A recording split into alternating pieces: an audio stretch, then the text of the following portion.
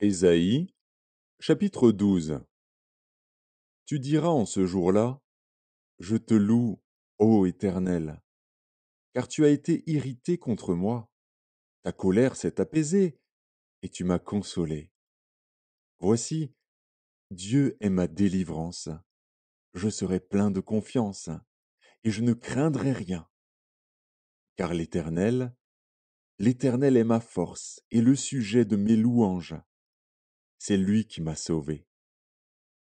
Vous puiserez de l'eau avec joie aux sources du salut, et vous direz en ce jour-là, Louez l'Éternel, invoquez son nom, publiez ses œuvres parmi les peuples, rappelez la grandeur de son nom.